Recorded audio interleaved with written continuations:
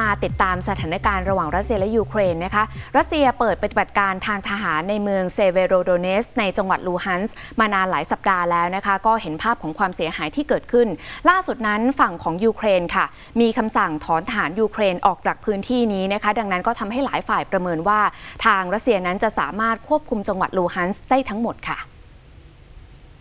นี่เป็นข้อมูลที่ได้รับการเปิดเผยออกมาจากโอเล็กซานเดอร์โมตูซิยานส์โฆษกกระทรวงกลาโหมยูเครนที่ระบุว่ากองกำลังรัสเซีย โจมตีเมืองเซเวโรโดเนสหนักขึ้น เพื่อพยายามเข้าควบคุมเมืองอย่างสมบูรณ์ พร้อมกับพยายามปิดล้อม เมืองลิซิชานส์ที่อยู่ติดกันด้วย ก่อนหน้านั้นในวันเดียวกันค่ะเซอร์ฮีไฮไดผู้ว่าการจังหวัดลูฮันส์ทางตะวันออกของยูเครนเปิดเผยว่า ทหารยูเครนได้รับคำสั่งให้ถอนตัวออกจากเมืองเซเวโรโดเนส ซึ่งอยู่ในจังหวัดลูฮันส์แล้ว เพื่อหลีกเลี่ยงการถูกปิดล้อม และติดอยู่ภายในเมือง หลังจากรัสเซียรุกคืบหน้ามาหลายวัน และกำลังจะยึดเมืองนี้ได้อย่างสมบูรณ์ ความสำคัญของเมืองเซเวโรโดเนส การที่ทหารยูเครนถอนตัวออกจากเมืองนี้ ก็คาดว่าจะใช้เวลาหลายวันนะคะ จะทำให้รัสเซียยึดจังหวัดลูฮันส์เกือบทั้งหมด ยกเว้นเพียงเมืองลีซิซานส์เมืองเดียว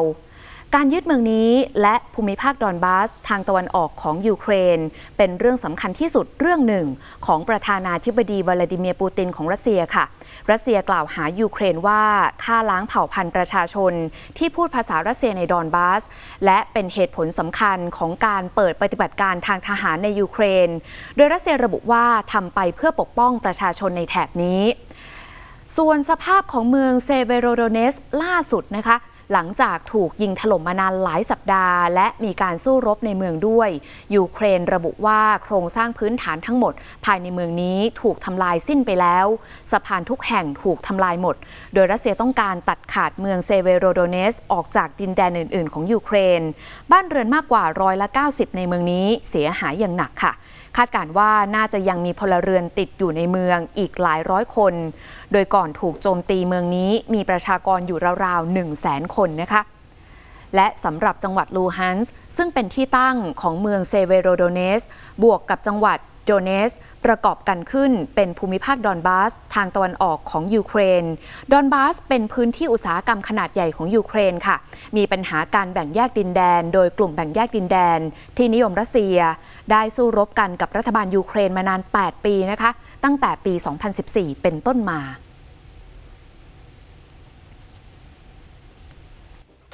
ขอบคุณที่ติดตามรับชมรายการ TNN News ข่าวเย็นค่ะ อย่าลืมนะคะกด subscribe กดกระดิ่ง กดไลค์กดแชร์ ในทุกช่องทางการรับชมผ่านทางออนไลน์ของ TNN ช่อง 16 ค่ะ เพื่อที่จะได้ไม่พลาดทุกรายการสด และคลิปข่าวที่น่าสนใจอีกมากมายค่ะ